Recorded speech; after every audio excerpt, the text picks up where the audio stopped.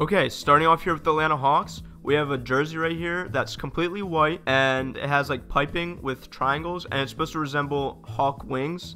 And then there's gold around it. And this jersey is in honor of the 50th season that the Hawks have been in the city of Atlanta. And then on the bottom right, it says True to Atlanta. And this is a very cool design. It's black and white with some gold and it's pretty clean and I actually like it a lot. For the Boston Celtics, their jersey is just a simple white jersey with some green font and some and gold outline. And this jersey is inspired by the white warm-up jerseys that former Celtics greats like Bob Cousy, Robert Parish, Bill Russell, and Larry Bird wore. The Celtics are the most winningest franchise in NBA history, so this jersey honors that and is very cool.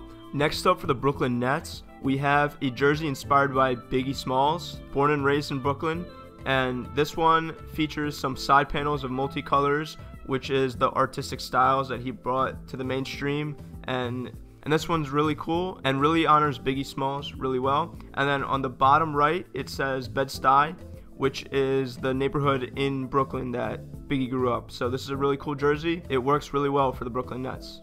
Next up for the Charlotte Hornets, their color palette for this jersey is inspired by the aircraft history in uh, North Carolina you know, the Wright brothers and stuff. And on the right side of the jersey, the right bottom, it says City of Flight, which is also inspired by that. And I really like this jersey in general. I think I like the one from last year a little bit better, but this one's cool. Uh, I like the color, and I wish it had some more purple like the other one, but it's still very cool. Next up, the Chicago Bulls. This jersey is just all black and then it has two stripes and a few stars and this is in honor of Chicago's four-star city flag. Uh, typically it's white, I believe, but for here they made it on a black jersey background. Also on the bottom right says Sweet Home, and it's very clean. I really like it as a jersey. Maybe it would be better white, but I'm just picky at this point. So I like this jersey. It looks pretty cool. Next up for the Cleveland Cavaliers. This jersey is in honor of Lake Erie because the bottom, as you can see, is blue, and I'm guessing that's like the waves of Lake Erie. And the Cleveland font that you see on the jersey mimics the Cleveland sign that welcomes visitors to Lake Erie from uh, Cleveland. So it's a very cool uh, jersey. I really like the orange and the blue. It really stands out for this jersey, and it's a little different than any really jersey I've seen so far.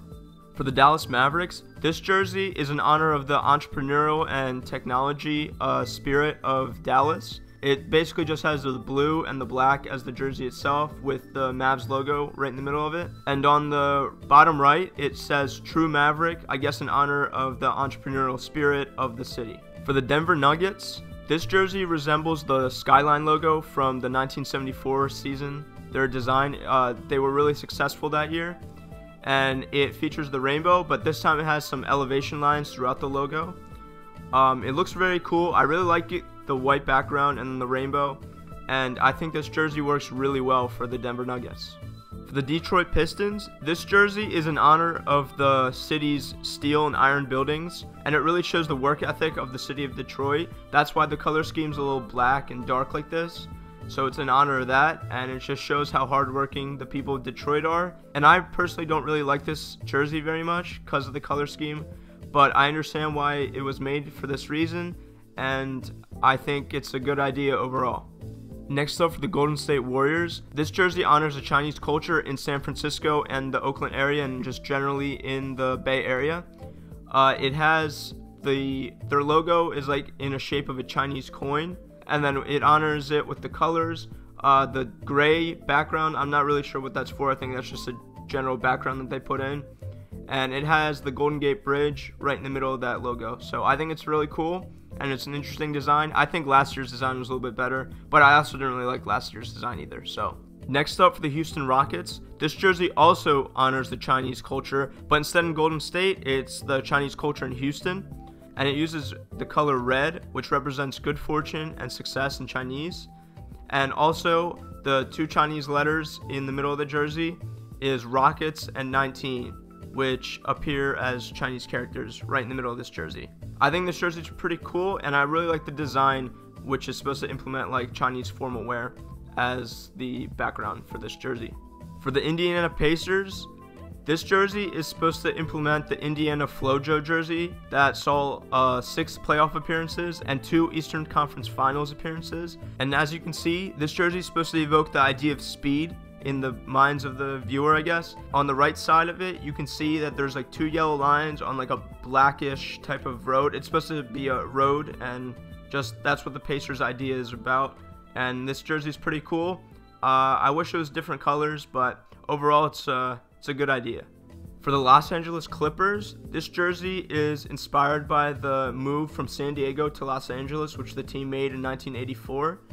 And that's what the idea behind this logo is. It's supposed to have it's supposed to resemble the three-star logo from the 84 transition and the move to LA. It doesn't really resemble the Clippers in general, but it's a good idea and nothing that we've ever really seen before. So I kind of like it for the Los Angeles Lakers. This jersey design doesn't really have a specific purpose, but it's just a different design for the Lakers. It has the black pinstripes with the purple background and the gold lettering with the black. It says here that it's supposed to honor Magic Johnson's three MVPs and five championship rings. I mean, I don't really see what it has to do with Magic Johnson, but overall, this jersey is pretty cool, and LeBron will look really good wearing it, you know? For the Memphis Grizzlies, this jersey is supposed to evoke the thought of professional wrestling, which apparently the city of Memphis really enjoys.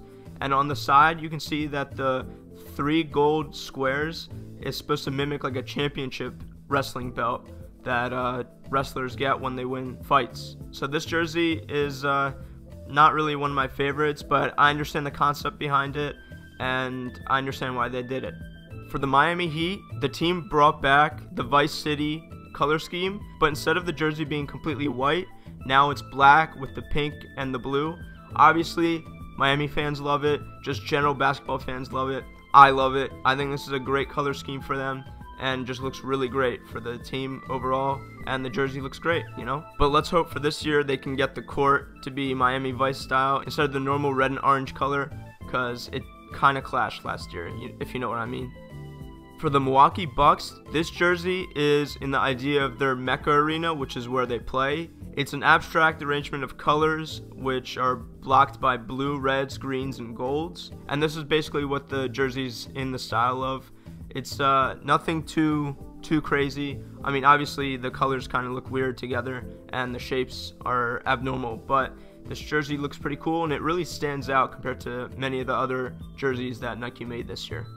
Next up for the Minnesota Timberwolves, this jersey is in honor of the musician Prince, who died about a year ago or maybe longer. And this jersey features the Purple Rain from his song, and it also resembles a lot of the costumes that he wore in his performances. And generally, it's just black with some purple in it. And Nike's a little bit more proud of this jersey compared to all the other ones that they made for this year because it honors the musician. Next up for the New Orleans Pelicans, this jersey is inspired of the Mardi Gras celebration that happens every year in New Orleans, and it features the purple, green, and yellow color scheme of Mardi Gras. And it's very cool, it's very simple and basic, but I really like it as a design for the Pelicans, and it really works. And Anthony Davis will look great in it.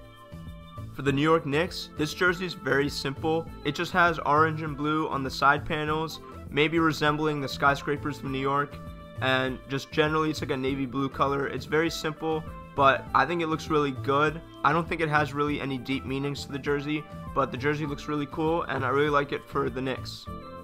For the Oklahoma City Thunder, this for me, honestly, out of all the City Edition uniforms, is probably my favorite. This design is in honor of the Native American tradition of Oklahoma, and it features a lot of elements from Native American culture. And then just the font and the style is just really cool. The color scheme, I really am a big fan of this jersey.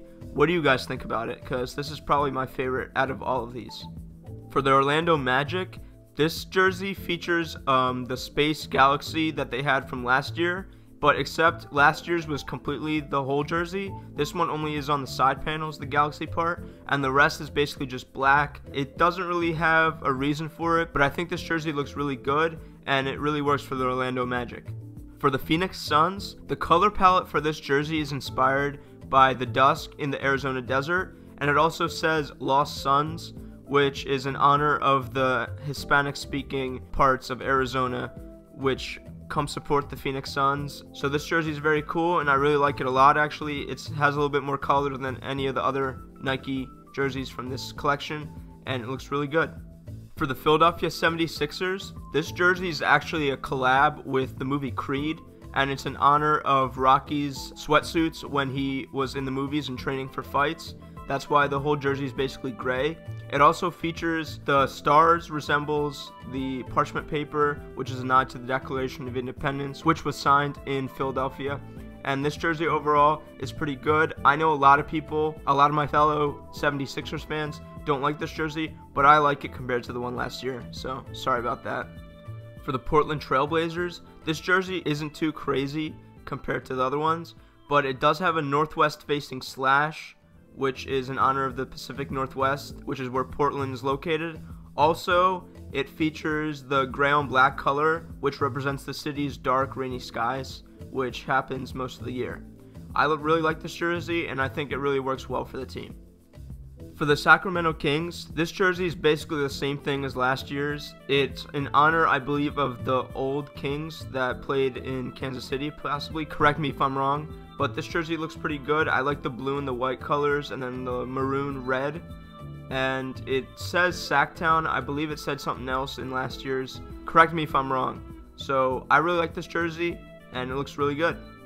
For the San Antonio Spurs, this jersey is exactly the same as last year's. It's in honor of the military history of San Antonio. Just features a black, darker camouflage instead of the normal green that you'd see in the military. This one's just dark for the Spurs colors.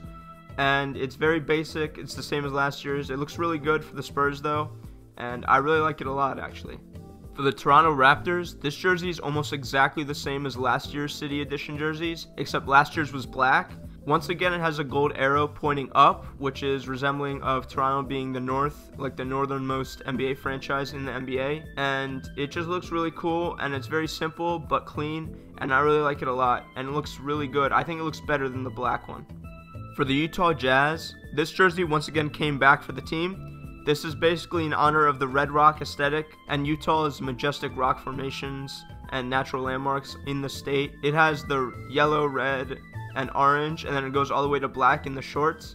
And everyone really likes this jersey, so they kept it, and it's a it's a big fan favorite. So I think it looks great, and uh, one of my favorites for sure. Finally, for the Washington Wizards, this one is basically very simple. It's just a black jersey, and then the side panels are to evoke a look and a texture of the Washington Monument. It's very simple, just black and white, basically. Um, nothing too crazy, but I think it really works well for the Wizards and the franchise as a whole. So that looks really good. Thank you for watching the video, guys. Make sure you check out this video from last year's City Edition jerseys. And like, subscribe, and share this video with one of your friends. Thank you very much for watching. I'll see you guys later.